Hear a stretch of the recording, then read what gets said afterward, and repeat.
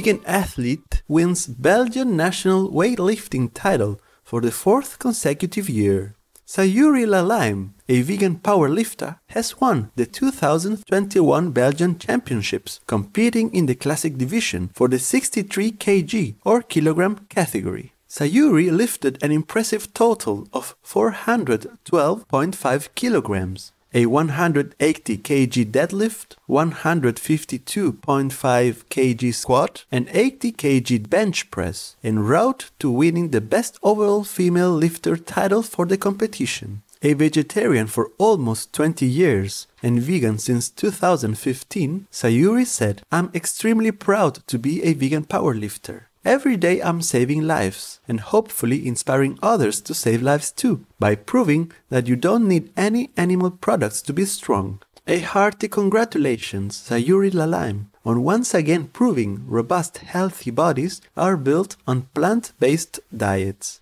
In divine upliftment, may your stellar example inspire many to adopt the win win vegan lifestyle.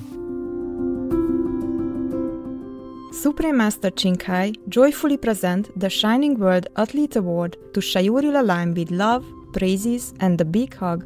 We vegans are mightily proud of you and all other veg athletes as you all drive home the true message of benevolent strength that compassion is the key to wholesome fitness. May God bless you more each of your powerful days to continue your awesome life in peace and success.